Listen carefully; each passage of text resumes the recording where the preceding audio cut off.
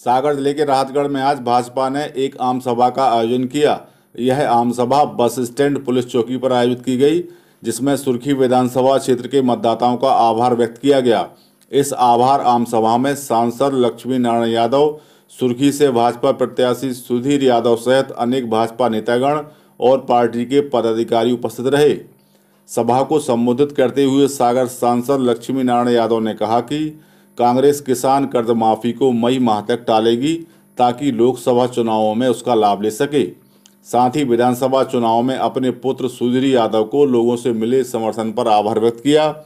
वहीं सुर्खी विधानसभा से भाजपा प्रत्याशी रहे सुधीर यादव ने भी सुर्खी क्षेत्र के मतदाताओं को धन्यवाद व्यक्त किया। सभा के दौरान काफ़ी संख्या में स्थानीय लोग मौजूद रहे। कि ये मई तक सारी बातें चलेंगी। मई तक ये कोशिश बिल्कुल आज कर रहे हैं कल कर रहे हैं ये ऑर्डर हो गया और बैंक से बुलाया है ताकि मई में जो लोकसभा के चुनाव हैं तब तक आपको और बोगालते में रखा जाए आपको को और मूठ बनाया जा सके जनता को। उसके बाद फिर सही स्थिति सामने सामने आएगी।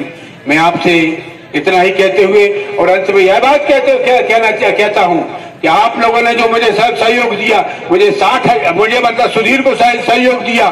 सुधीर को साठ हज़ार वोट मिला है। हमें फक्र है कि साठ हज़ार लोग कम से कम इतने वर्ग लाने के बाद, इतने झूठ खड़े बोलने के बाद भी उनके यहाँ पकड़ में नहीं आई बात नहीं है, वो तो आपको रिज़ल्ट महीने, दो महीने में ही दिखाई पड़ेंगे। जैसा नीरज भाई ने हमें बताया कि लोग सत्ता के लिए पलटी मारते हैं, महाराजा से राजा के हो जाते हैं। और महाराजा कहता है, अरे, ये राजा का कैसे हो गया? ये बेईमानी उनमें चलती रहती है, वो आगे भी समझ में आएगी। और मैं, पुनः आप सभी का आभार व्यक्त करता हूँ।